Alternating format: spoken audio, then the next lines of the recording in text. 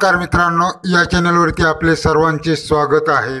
आत्ताच भिवरी पठारवाडी एक येथे एक आदत एक बैल असे मैदान पार पडले आणि या मैदानावर बकासूर आणि लक्ष यांचा पायरा होता. तर यामध्ये बकासूर आणि लक्षची गाडी ही गट पास चांगल्या फरकाने झाली होती. परंतु शेमी क्रमांक तीनमध्ये धावत असताना गाडी ही बाद ठरलेली आहे.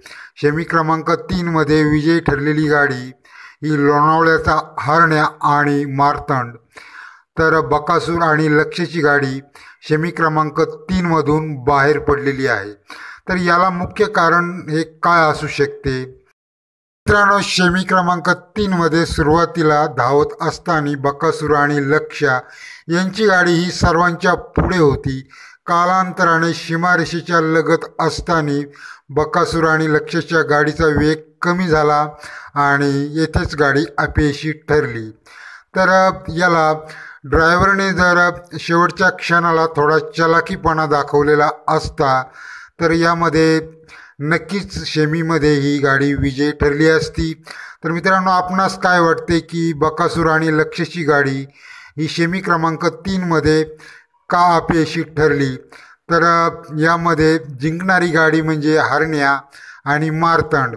हरण्या हा बैल लोणावळ्याचा शेकंदावर पळणारा बैल आहे आणि मागे झालेल्या शिंदवणे या मैदानावर हरण्याने दुसरा क्रमांक केलेला होता आणि या मैदानावर शेमीमध्ये बकासूरच्या गाडीला हरवण्यात या बैलाला यश आलेले आहे.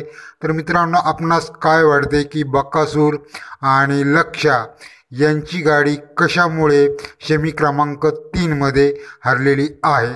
धन्यवाद. भेटूया पुढील व्हिडिओमध्ये असेच नवीन अपडेट पाहण्यासाठी चॅनेलला सबस्क्राईब करा लाईक करा नमस्कार.